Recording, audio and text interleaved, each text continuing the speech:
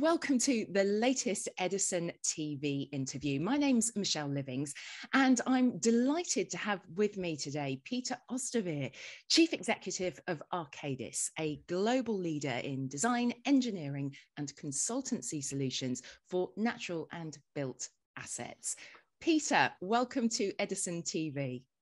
Thank you very much, Michelle. Nice to be here. Yeah, lovely to have you. Uh, now, I have some probing questions here that relate to Arcadis, and I would be delighted if you could outline your thoughts as we run through them.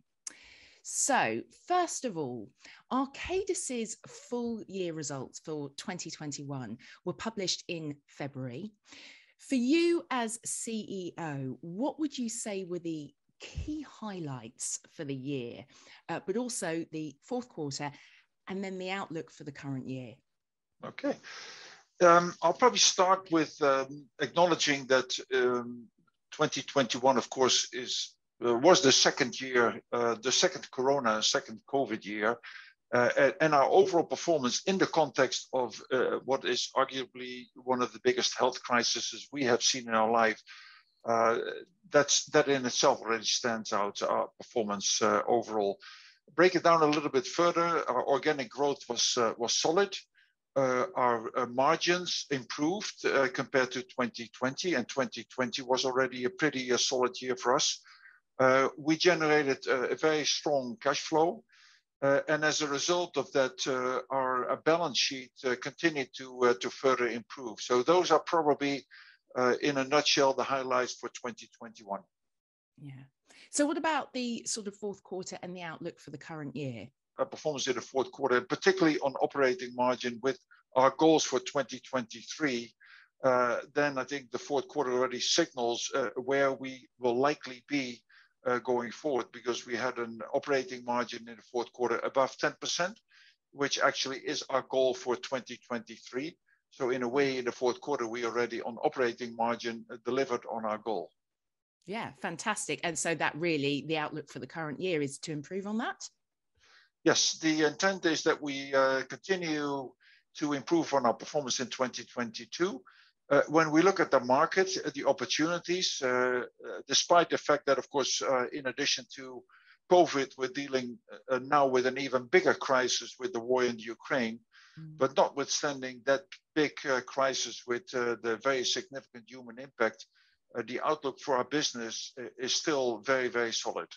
Great, that's great to hear. Um, so in 2021, Arcadis launched a focus on three global business areas resilience, places, and mobility. So, how does this realignment of the business improve the outcome for clients? And also, how is it expected to benefit Arcadis's shareholders? In a way, it's a great question, Michelle. In a way, it's actually almost initiated by uh, clients, although uh, they will probably not take any uh, any credit for it. But in speaking with clients uh, across the globe uh, in the five years since I joined Arcadis, um, a number of recurring themes uh, have surfaced. And, and one recurring theme, which ultimately caused us to form the global business areas, was that clients would, um, first of all, uh, acknowledge that most of our clients are local clients, and they would actually almost introduce their conversation with saying, I understand I'm a local client, but I really want to benefit from your global experience because my project in itself might not be unique. You must have done similar work for other clients elsewhere in the world, and I want to benefit from that experience. Uh, I want to see actually people you can bring to my project, which have done similar projects. I want to benefit from the knowledge, the, the experience you've gathered. Uh, and if I didn't want to benefit from that, then I would have most likely selected a, a, local competitor of you who doesn't have the global footprint. And most likely that local competitor would have been cheaper as well. So bring to me the very best of Arcadis. So that is where our clients will see the, the biggest benefit uh, no matter where in the world they are, they will see us bring the very best of Arcadis to their projects, benefiting from similar experiences elsewhere in the world. Mm. And then how is that going to benefit then your shareholders? Yeah, so if we are more efficient in, um, in not reinventing the wheel, uh, in reusing experience uh, which we have gathered before, uh, then we will be able to a satisfy our clients, as I just mentioned, and we will avoid to reinvent the wheel. We will become more attractive to our clients. Uh, and as a result of that, we will become more efficient, more productive in, uh, in delivering solutions which have already been developed, as opposed to trying to reinvent the wheel again. Mm, yeah. So, Arcadis has set 2023 financial targets, including mid single digit organic growth, uh, EBITDA uh, margins of greater than 10%, and a net debt or EBITDA ratio of between 1.5 and 2.5 times. Are you performing on these metrics? And when can we expect new financial targets? yeah, that's a question we get a lot. Uh, uh, and the question, the second question, when can we see new targets, is of yeah. course uh, connected with the first question because if we are uh, delivering on the targets, which we are already doing to a large extent, then of course uh, it is enticing uh, and attractive to ask for renewed targets. and we've maintained that we first want to deliver on all the targets which we've set for 2023, not just financial, but also our non-financial targets. Now, on the financial targets, we are creating that mid-single digit growth.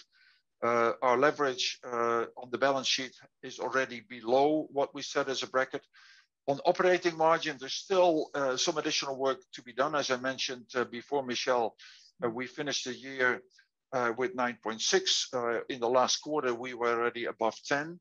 So we are definitely trending in the right direction. But before we set new targets, um, I want to first make sure that I do deliver on all the targets we've set for 2023. Yeah, that sounds like a good plan. Now, Peter, I want to move on to sustainability because sustainability, building a carbon neutral world are key priorities for Arcadis. Could you elaborate how ESG targets are embedded in the organization and then how they're looking to achieve these priorities? Yeah, um, well, I would first of all say that sustainability is truly in our DNA. We've existed for um, close to 135 years. And if you go back uh, into our history as a company, which started uh, in the Netherlands actually, then uh, we already delivered sustainable solutions before uh, sustainability uh, became a word in itself or in, before it became uh, mainstream. How have we embedded, embedded them in, um, in our um, organization? Well, as I mentioned before, in addition to uh, financial targets, we do have non-financial targets as well. Uh, as an example, we've committed to be net zero by 2035, uh, or in other words, get to Paris in half the time.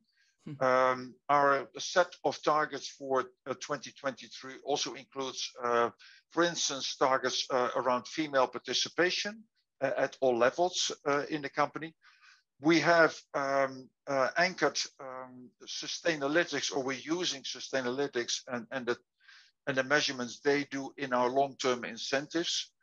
Um, and so we have uh, a lot of things uh, in place, uh, which gives me confidence that I can safely say that sustainability or ESG in broader terms mm-hmm. is, uh, is firmly embedded uh, in Arcadis. Yeah, that sounds fantastic. And it kind of sort of lends itself to this next question I've got for you. Because as part of the Arcadis modus operandi, it's looking to become the employer of choice. Why does this matter and how can it be achieved? Well, if you bring it down to uh, to the core, uh, what we do is uh, deliver services to our clients, and our people are absolutely instrumental. Uh, we can speak all day long about the magnificent tools and systems we deploy, but at the end of the day, it is, it is all about uh, people. Uh, and the passion of our people, the drive of our people will make our clients successful and will make us successful. So to make sure that people to the maximum possible extent uh, stay with Arcadis or that new, new people join us is absolutely crucial. It became also apparent to me uh, when I joined five years ago that, um, that we had some work to do there. Uh, that is actually why we added a fifth value um, to the values we already had. And that fifth value is people first. And I think that uh, really um, says uh, and tells the story.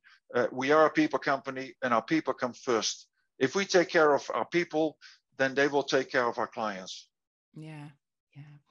So the relatively new US Infrastructure Investment and Jobs Act of 2021 outlines 1 trillion US dollars of spending. to what extent does this initiative support Arcadis's growth targets? And also, to what extent are there sort of multinational or, or, regional initiatives in other geographies that might mirror that US investment initiative? Yeah, great question. This, of course, is a very, very significant investment, uh, probably only mirrored uh, in a way uh, by the European Union, uh, the Green Deal, and, and both of these plans really play into our hands. They, they really address the sweet spot we have because to a large extent, they focus on creating a more sustainable world. They focus on delivering a better infrastructure, uh, or you could say uh, more efficient uh, and more carbon neutral mobility, create more sustainable places. So all the things Arcadis is, is able to deliver. So for us um, and our growth, these, these plans do mean a lot. Uh, now, that being said, um, in, in, the US, um, there's uh, this phenomenal federal plan, uh, but states uh, already have a lot of plans as well. And we benefit both from the federal plan, uh, but we also already benefit uh, a lot from similar plans which are being developed at the state level. For instance, in Georgia, in Texas, in California, Florida, places where Arcadis has a really strong footprint uh, we are already seeing um, uh, the, the fruits of, of our work. We have over 7,000 people in uh, North America, so it is a very significant uh, region for us. And, and, again, these plans, not just the federal plan, but also state plans, and then combine it with the European Green Deal are of uh, significant support uh, to our growth plans. Yeah. Well, I have got one final question for you, if that's okay. Um, how do you think about and this is you personally, how do you think about the Arcadis organization? Is it well balanced in terms of its geographical footprint and activities and or are there parts of the organization that require greater scale or indeed might be subscale and could be de-emphasized and is this something that can be addressed via the m&a activity the mergers and acquisition Yeah.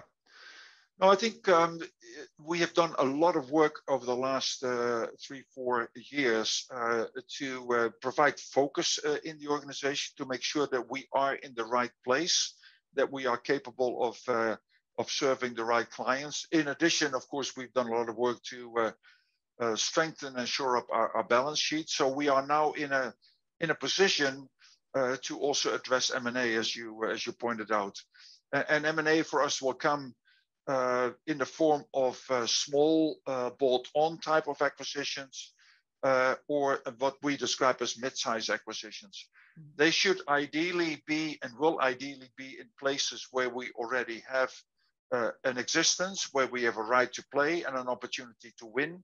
Uh, and you have to then think about North America, of course, Europe, the UK, Australia, um, and certain parts of Asia, that will be our areas of focus. And then ideally, we also want any M&A to check uh, a number of additional boxes. Uh, they need to be an additional uh, asset to our sustainability focus, uh, and they need to also have a high degree of, of digital capability, ideally both, but those are sort of at a high level the things we look at uh, to decide on our M&A uh, opportunities. Yeah. Well, listen, Peter, it's been great chatting to you, really insightful. And thank you so much for joining us here at Edison TV. My pleasure, Michelle. Good to see you.